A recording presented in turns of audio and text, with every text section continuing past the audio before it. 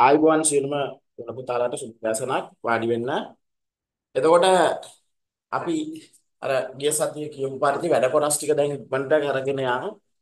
එතකොට ඕගොල්ලොන්ට ආ, අපි ගිය සතියේ අවසානට කතා කරේ සරල යන්ත්‍රවල ආනත තලය කොටසේ ආ, ආ, සමීකරණ ටික කතා කරා. ඒක නේද මම මේ ගෙදරදී ප්‍රශ්නකුත් දුන්නේ ආනතලෙන්ද බලන්න. ආනතලෙන්නේ. හරි. එතකොට ආනත තලය යටතේ කතා කරනකොට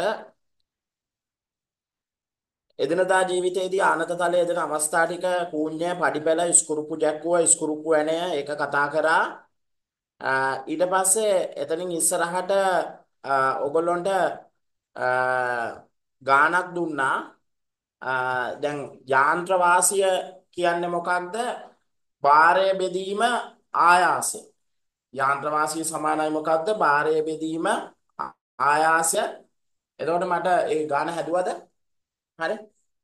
ගාන හැදුවා. එතකොට භාරය කීයද? භාරය කීයද පුතා? ඈ? ඔව්. භාරය බෙදීම ආයාසය. එතකොට භාරය 300යි ආයාසය 100යි. භාරය 300යි නිව්ටන් ආයාසය 100යි නිව්ටන් උත්තරය ආව 3. ඊළඟට ප්‍රවේග අනුපාතය ඊළඟට ප්‍රවේග අනුපාතය එතකොට ඒකට එන්නේ ප්‍රවේග අනුපාතයට ආයාසයේ චලන දුර බෙදනවා චලන උදුර බෙදනවා භාරයේ චලන උදුර චලනය උදුර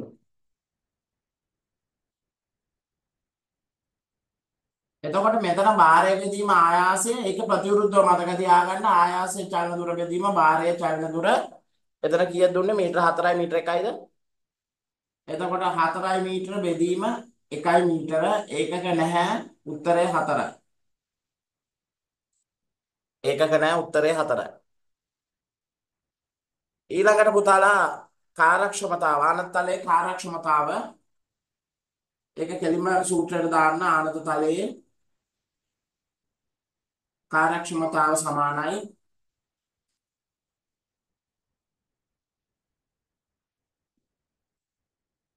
එතනදී යාන්ත්‍ර වාසිය බෙදීම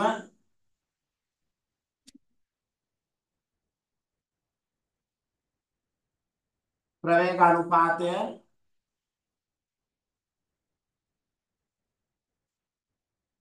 වැඩි කිරීම 100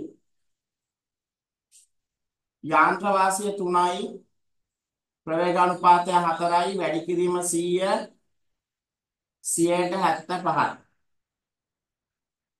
ඉතින් හරිම ලේසි සූත්‍රයට ආදේශ කිරීම විතරයි තියෙන්නේ මහ ලොකු දෙයක් නෑ එතන කරන්න ඒ ආදේශ කරලා උත්තරේ ගන්න ඊළඟට පුතා ප්‍රධාන කාර්ය එතකොට අපේ විසින් මොකද කරන්න පුතා ප්‍රදානය කරනවා. ඒ ප්‍රධාන කාර්යයට එන්නේ ආයාසයද භාරයද කියලා මතක තියාගන්න. ඒකයි ලේසි. අපි ප්‍රදානය කරනවා නම් ඒක වැටෙන්නේ මොකද්ද පුතා? ආයාසය. අපි ප්‍රදානය කරනවා නම් ඒක මොකද්ද? ආයාසය. එතකොට වැඩි කරනවා පුතා ආයාසයේ චලන දුර. ආයාසයේ චලනය වූ දුර. ආයාසය කීයද එතකොට 100යි මීටර චලනය වූ දුර හරි නිව්ටන් ආයාසය 100යි නිව්ටන් චලන වූ දුර මීටර 4යි 400යි නිව්ටන් මීටර එතකොට ජූල් තමයි ඒකකේ. නිව්ටන් මීටර කියන්නේ ජූල්. ඊට පස්සේ ප්‍රතිදාන කාර්ය සමානයි. භාරය වැඩි කිරීම භාරය චලන දුර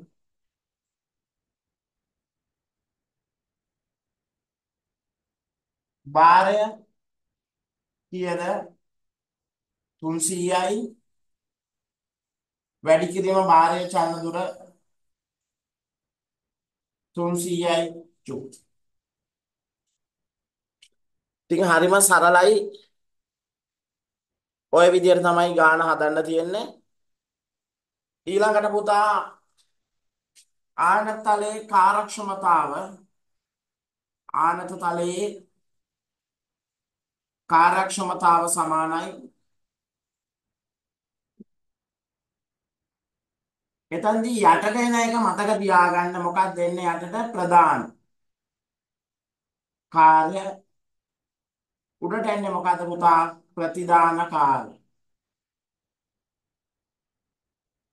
වැඩි කිරීම පුතා 100 ප්‍රධාන කාර්ය 400 ජූල් ප්‍රතිදාන කාර්ය 300 ජූල් වැඩි කිරීම 100 උත්තරය එනවා පුතා 100ට 75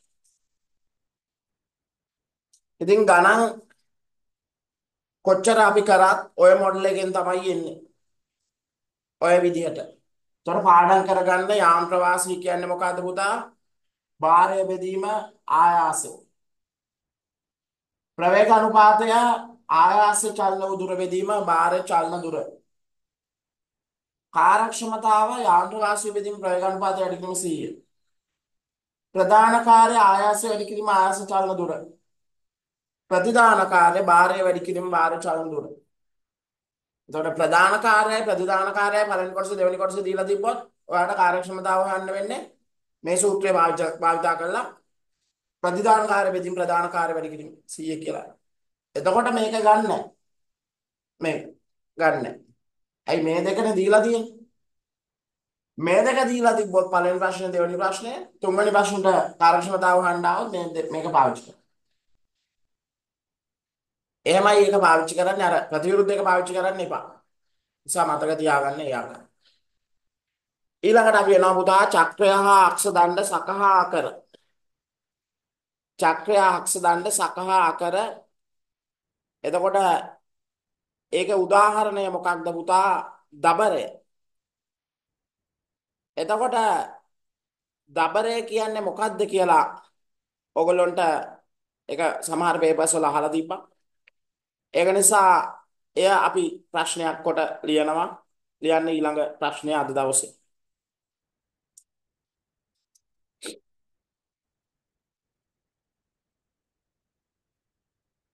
දැන් මේ අමලු දබරය අයිති වෙන්නේ මොන සරල යන්ත්‍ර ගණයටද?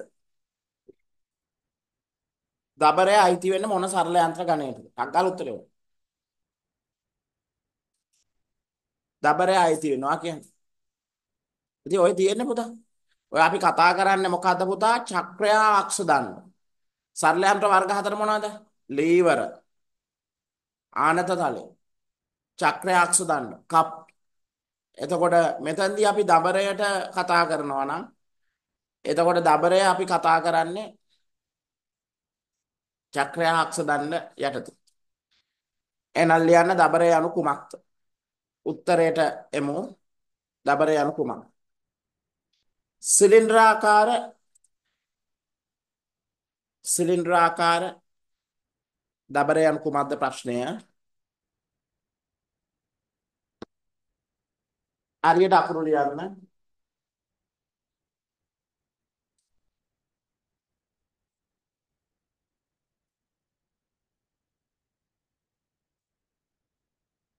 සිලින්ඩරාකාර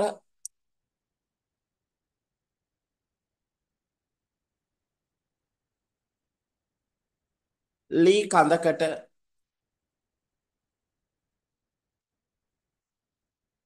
සිලින්ඩරාකාර ලී කඳකට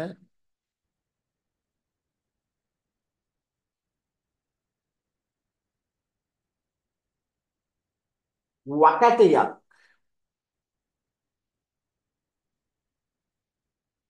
සිලින්ඩරාකාර ලී කඳකට වකටියක්.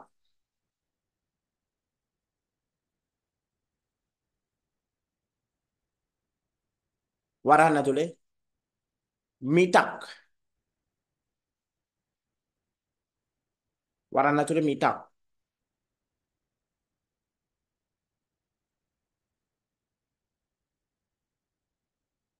සවිකර වරන් වහන්න මිටක් කියලා වරන් වහන්න.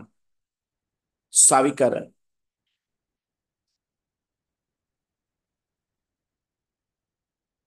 ආධාරක දෙකක් මත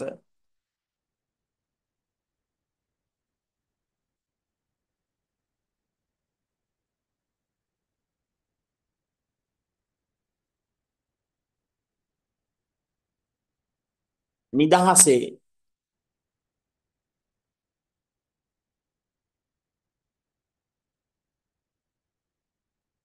භ්‍රමණය කළ හැකිසේ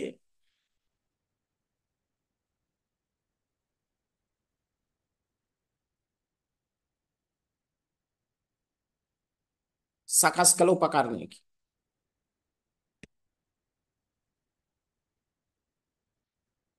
සකස් කළ උපකරණයකි.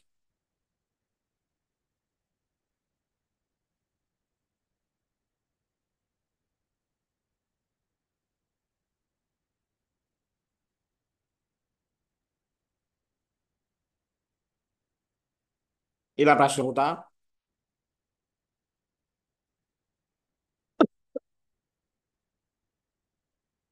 දබරයක රූප සටහන අඳින්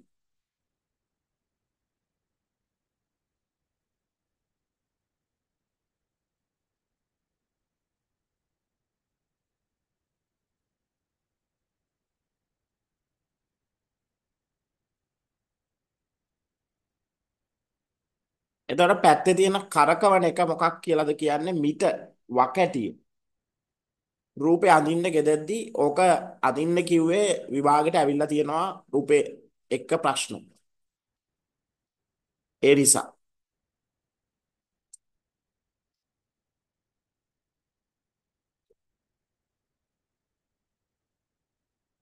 පහත රූප සටහනේ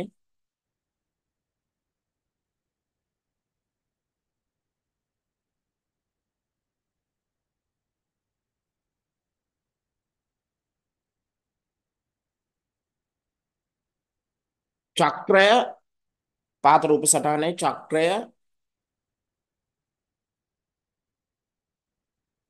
අක්ෂ දණ්ඩ කම කම අක්ෂ දණ්ඩ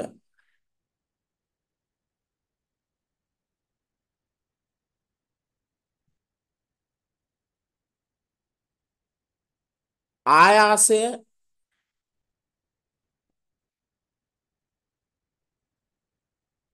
භාරය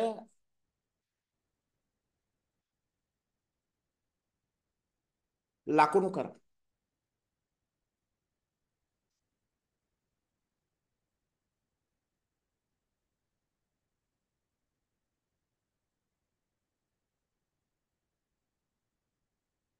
ආයාසය භාරය ලකුණු කරන්න. පැන්සලෙන් දාගන්න ගෙදරදී අඳින්න 15 20 රූපේ.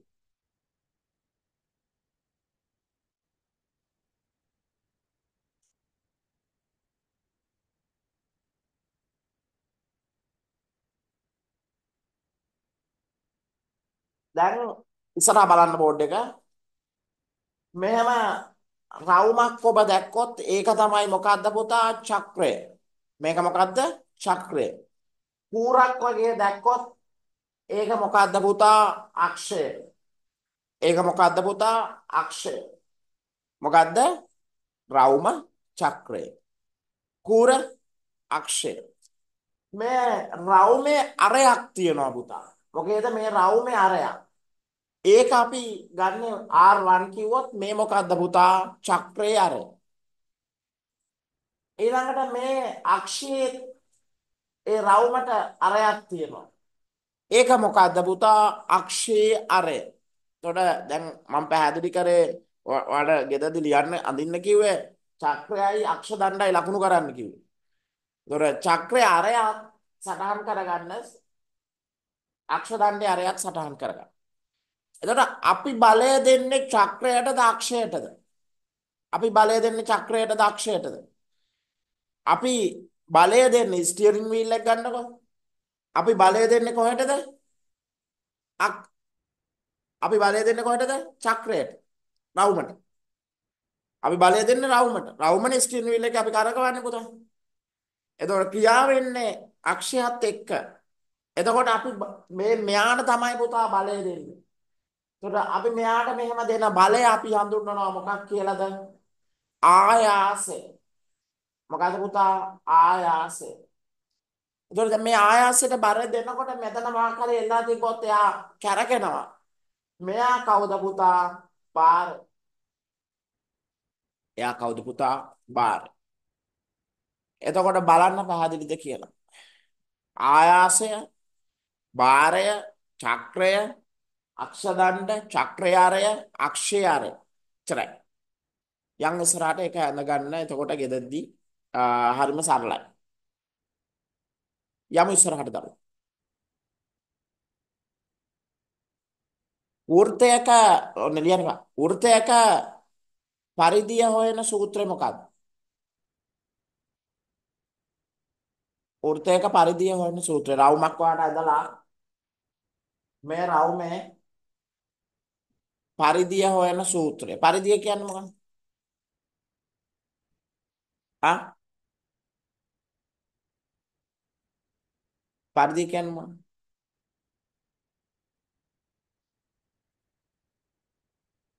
මේ රූපයේ වර්ගඵලය කියන්නේ. ආ වර්ගඵලය කියන්නේ මොකක්ද?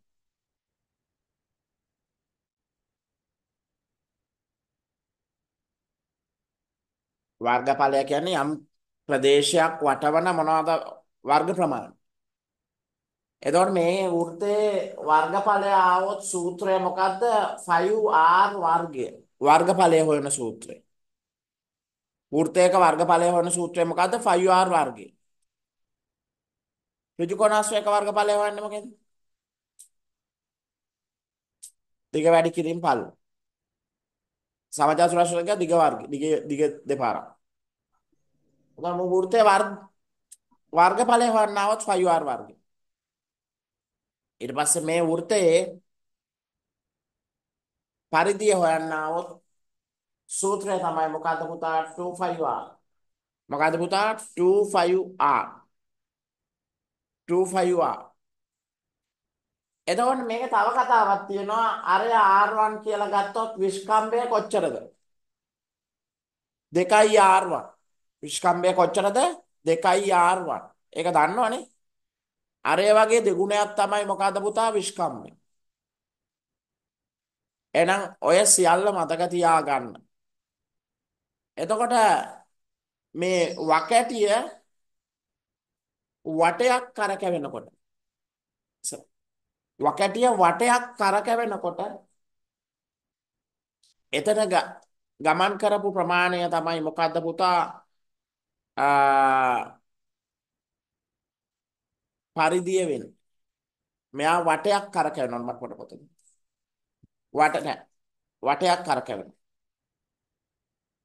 එතකොට බලන්න සම්පූර්ණ කරගන්න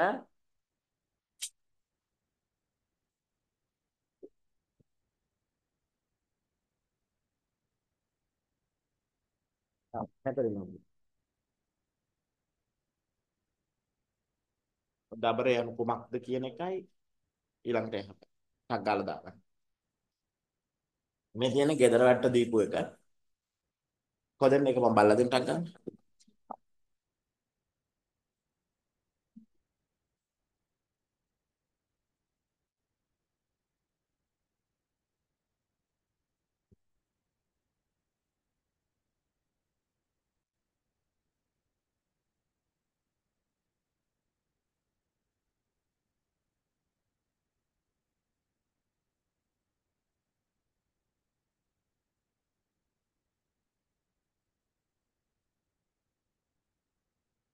ටික ප්‍රශ්න දෙකයි තියෙන එක. ඔයාගේ පොත දෙන්න පුතේ ගෙදර වැඩ එක බලන්න.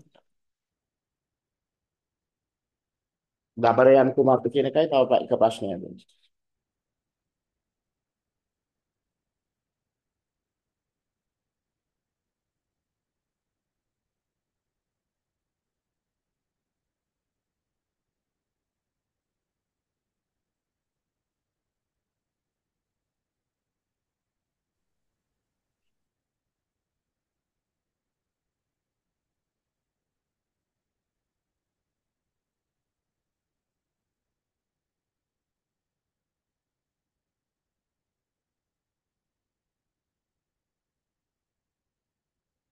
හරි බලන්න පුතේ.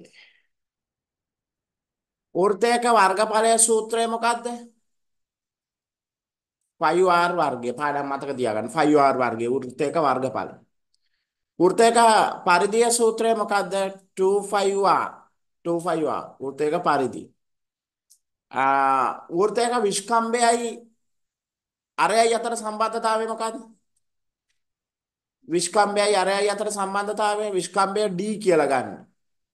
D සමානයි මොකද්ද? 2r. D සමානයි මොකද්ද? 2r. එතකොට 5 වල අගය මොකක්ද? 5 වල අගය කීයද? 5 වල අගය. ඔව් 22ට 7 අපි ගන්න 7න් 22යි කියලා ගන්න. එතකොට 5 වල අගය කීයද පුතා? 7න් 22යි. 5 වල අගය කීයද? 7න් 22යි. එතකොට එතන දුන්න ප්‍රශ්නය හරි නේද? මොකද්ද එතන ප්‍රශ්නය ගැලපුවේ පුතා? ආ අමලු මේ ප්‍රශ්නේ පොඩ්ඩක් බලන්න දෙවෙනියට දුන්න ගන්න. ඔව්. අරක අඳින්න දුන්නේ රූපේනේ. හරි. එතකොට පුතා අචුප තියනවානේ. බලන්න සියලු දෙනා අවසානට දුන්න ප්‍රශ්නය 15 20 රූපේ අඳින්න. ඔයාගේ දෙන්න බලන්න. 15 20 රූපේ අඳින්න. එතකොට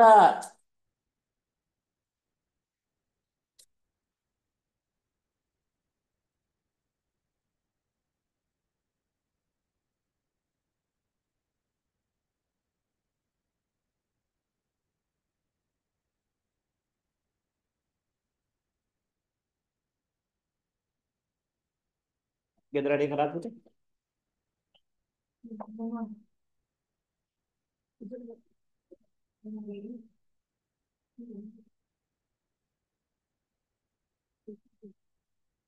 පොර ප්‍රශ්න දෙන විදිය බලලා කොයි සූත්‍රයද පාවිච්චි කරන්න කියලා බලලා වැඩේ කරන්න.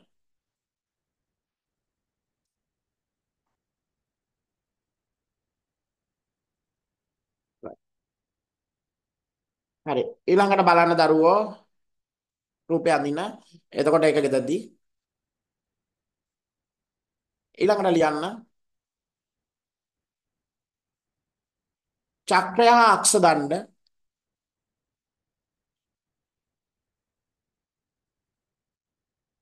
යන්ත්‍රවල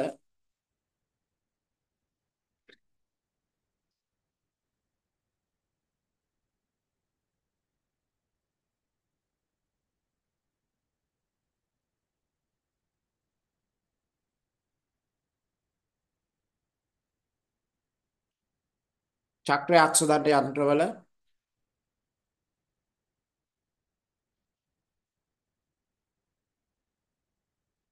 ප්‍රවේග අනුපාතය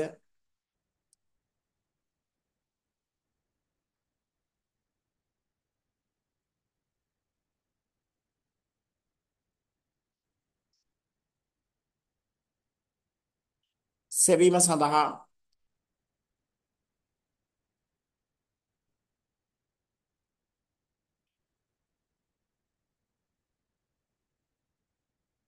සූත්‍රයක් ගොඩනගන්න.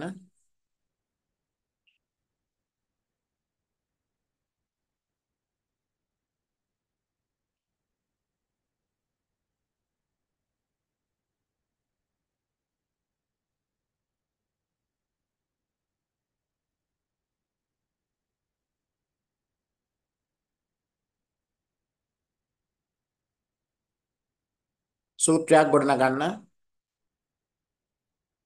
දැන් ඉස්සරහ බලන්න හරි දැන් ඉස්සරහ බලන්න පුතා මෙතන දැන් අවශ්‍ය කොටස මෙතන තියෙනවා මේ තියෙන චක්‍රය එතකොට චක්‍රය ආරය මොකද්ද පුතා R1 අක්ෂය ආරය මොකද්ද පුතා R2 කතාව හරි එහෙනම් ඔය ප්‍රශ්න දීපු විදිහටම බලා ගන්නකොට මම ලියුවාට පස්සේ ඔයාලා ලියන්න චක්‍රය අක්ෂ දණ්ඩ යන්ත්‍රවල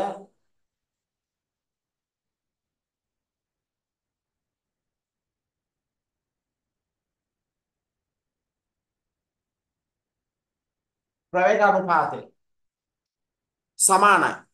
මොකද්ද? මිට වරක් මිට වරක් කැරකීමේදී සෑදෙන වෘත්තයේ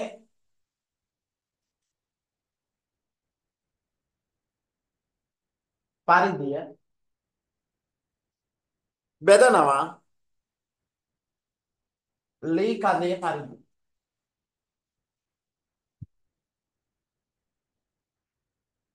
බෙදනවා මොකෙන්ද? ලී කඳේ පරිදි. එතකොට මේ මීට වරක් කරකැවීමේදී එතන වෙන්නේ මොකද්ද පුතා? 25R1 මොකද්ද පුතා? 25R1 දැන් අපි මෙහෙම වෘත්තයක් දීලා මෙතන ඉන්නවා කියලා හිතන්න කෘමියෙක්. මෙතන කෘමියෙක් ඉන්නවා කියලා හිතන්න. මේ කෘමියා මේ රවුම දිගේ ඔහම රවුමක් ගිහින් මෙතනට එනවා. කෘමියාගේ විස්ථාපනය කොච්චරද මේ කෘමියා රවුමක් ගිහින් මෙතනට එනවා. කෘමියා විස්ථාපනය කොච්චරද? බිඳුවයි. විස්ථාපනය කියන්නේ ආරම්භක තැනත් අවසන් තැනත් අතර මොකද කියන්නේ පුතා? දුර. දොර ආරම්භක තැනයි අවසන් තැන එකම තැනට ආවම මොකද වෙන්නේ පුතා? විස්ථාපනය බිඳුවයි. ඊට පස්සේ මේ කෘමියා පුතා මෙහෙම රවුම යනවා. දොර ගමන් කළ දුර කියන්නේ පුතා මේ රවුමේ තියෙන වට ප්‍රමාණය. එතකොට මේ වට ප්‍රමාණයට අපි දාන සූත්‍රය මොකද්ද පුතා? 25R එයා වටයක් ඕම කැරකුණොත් එයා කැරකෙන්නේ කොච්චරද පුතා? 25R කැරකෙනවා. එතකොට මේක දාන්නේ අපි මිටවරක් කරකැවීමේදී සෑදෙන්නේ 25R1 තේරුණාද ඒ කතාව? මෙයා වටයක් කැරකෙන්නේ පුතා. ඔහම වටයක් කැරකෙන්නේ. කැරකිච්ච ප්‍රමාණය කොච්චරද පුතා? 25R1 ලීකද? ලීකඳේ පරිධිය කොච්චරද පුතා? 25R2 එහෙනම් පුතා හරිම සරලයි. R1 බෙදීම R2 එහෙනම් ප්‍රවේග අනුපාතය සමානයි. R1 කියන්නේ චක්‍රයේ අරය. බෙදනවා පුතා R2 කියන්නේ අක්ෂ දණ්ඩේ අරය.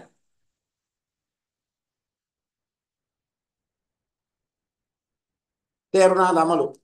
කැසලි තේරුණාද? හරි. බලන්න පුතේ ටක් ගාලා ඔක දාන්න.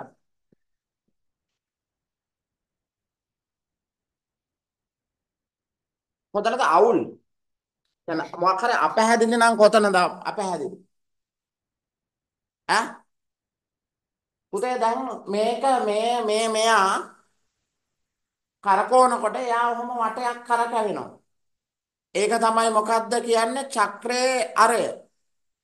චක්‍රේ පරිධිය ඊට පස්සේ මෙයා වටයක් කරකැවෙනවා එතකොට මේ රවුමේ පරිධිය මේ රවුමේ පරිධියයි මේ රවුමේ පරිධියයි අතර මොකද්ද මේ දක්වන්නේ? අනුපාතය ඒක තමයි අපි ඔතනදී මොකක් කියලා දරන් තියෙන්නේ? ප්‍රවේග අනුපාතය කියලා අරන්.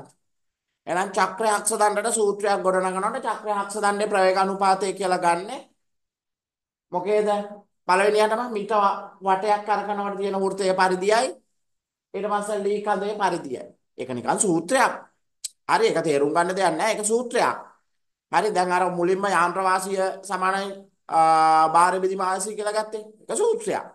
අන්න ඒ වගේ මෙතන සූත්‍රයක් මොකද්ද? චක්‍රය අක්ෂ දන්න ප්‍රවේගානුපාතය. සූත්‍රය මොකද්ද? පරිධිය මේක චක්‍රයේ පරිධිය බෙදනවා අක්ෂයේ පරිධිය. එතකොට ඒක බෙදුවාම අවසානයේ පරිධියවල් දෙක බෙදනකොට අවසානයේ 2525 කැපෙනවා. මේ දෙන්න සමානයිනේ. ඉතුරු වෙන්නේ චක්‍රයාරයයි අක්ෂය.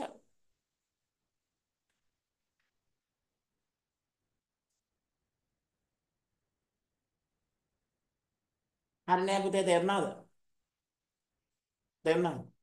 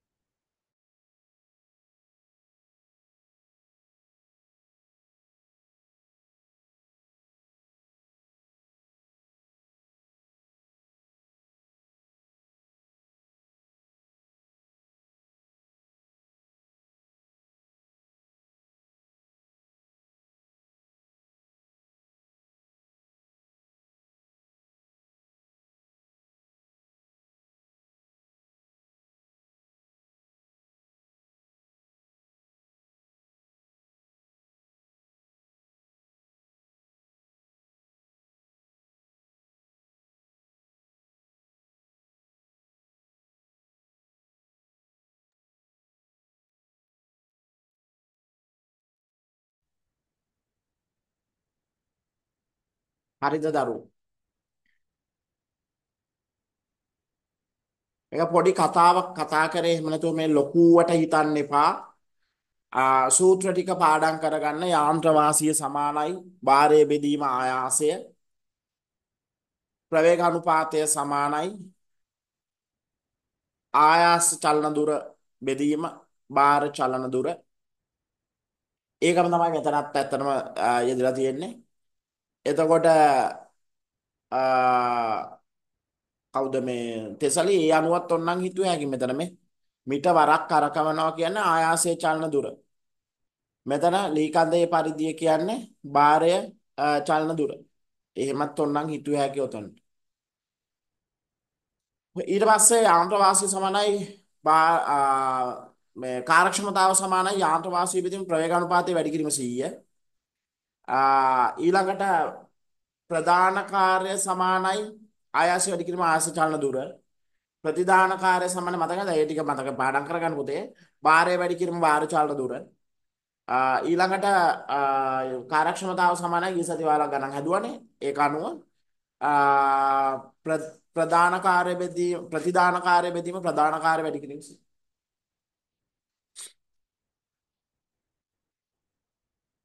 අර ඔයාලට එක ප්‍රශ්නයක් ආව නම් එතන මේ අර දෙවෙනි දෙවෙනි සූත්‍රය මතක් කරගන්න. ප්‍රවේගානුපාතයේ සූත්‍රය මොකද්ද? ආයාස චලන දුර බෙදීම බාහිර චලන දුර. අපි මෙහෙම කරකවනකොට ආයාස අපි කරකවන දුර තමයි මොකද්ද? ආයාස චලන දුර. සම්පූර්ණ වටයක් කරකවනකොට මේ වටේම එයා කර. එතකොට ඒක තමයි